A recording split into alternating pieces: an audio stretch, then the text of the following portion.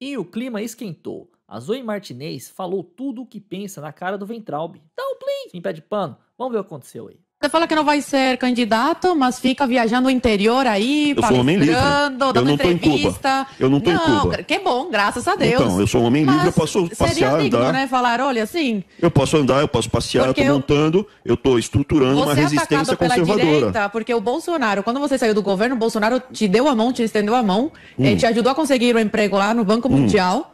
Aí você continuou no emprego, não se demitiu e agora tá atacando o Bolsonaro. Ok, tudo bem sair do governo. Agora, ficar tezendo críticas ao Bolsonaro, Ô, principalmente num ano de eleição, Deixa deixa onde você sabe muito bem que tá polarizado e vai ser o Bolsonaro ou Lula, Hum. e você fazendo isso ajuda a colocar algumas pessoas contra o Bolsonaro, é uma, é uma coisa muito feia, né? É Você não acha? O clima pegou fogo no ao vivo. Sim, pé de pano, você tem razão. Mas e você que assiste esse vídeo, qual a sua opinião sobre a declaração da Zoe Martinez para o Ventralb? Deixa nos comentários que quero saber. Também é muito importante você se inscrever aqui no canal para mais vídeos como este aqui. Muito obrigado e até a próxima. Acabou.